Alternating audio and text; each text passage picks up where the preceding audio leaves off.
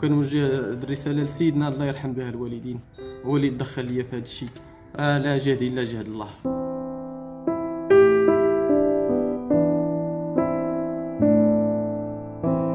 أنا عبد الرحمن المحمودي أخ عبد العزيز المحمودي اللي وقعت لي الحادثة في دولة مالي في مدينة باماكو على 350 كيلومتر على مدينة باماكو. الأخ ديالي كان كان داروا الحادثة مع 11 ديال النهار. ونقلوه نقلوه لمصحه باستور في مدينة آه، باماكو. وكان فيها واحد ربع أيام. ما داروا ليه والو. عاود نقلوه لواحد المستشفى عسكري في مدينة كاتي. ولحد الآن ما ما مازال ما داروا لي لا عمليه لا لا والو. في الأول كانوا طالبين ب 2000 درهم في النهار. والعملية ب 8 المليون. ودابا ولاو كيطالبونا ب كيطالبونا ب 6000 درهم في النهار ديال السبيطار وعنده 2000 درهم ديال الدواء في النهار.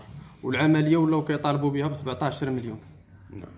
شكون اللي علمكم بالخبر الحادثة؟ علموني سائقين من مدينة الداخله نهار الحد بالليل. هما اللي صيفطوا لي الحادثة وصيفطوا لي ال- ال- ال- التصاور وصيفطوا لي داك الشيء و... وشفت الباسبور ديال خويا وعرفته. وكاين شي تدخلات ديال الحكومة وديال الوزارات المعنية وزارة الخارجية مثلا نعم. ولا اتصلوا بكم السفارة؟ لا ولا مازال ما اتصلت بيا السفاره ما اتصل بيا حتى واحد. نعم. أشنو كان كيدير آه، الأخ ديالك آه، الاخ محمود؟ ديالي من 2016 وهو خدام سائق مهني. وشنو نوع ال- ال- ال- الحمولة ال- اللي تينقل ال- ال- ال- افريقيا والمالي كينقل الخضرة كينقلوا الحوت جميع المواد الغذائية كتمشي. نعم نعم. والوضعيه المالية والاقتصادية ديالكم أنتم دابا كيفاش دايرة؟ آه،؟ الوضعية آه، آه، ضعيفة شوية. نعم نعم. ما يمكنليناش ن- نتحملوا هذا الشيء هذا. واخا واش وشنا هي المطالب ديالكم اليوم اللي تتوجهوا المطالب ديالنا هي خويا يتعالج يتعالج ليا خويا ولا يجيبوه ليا هنا للمغرب نعالجوه.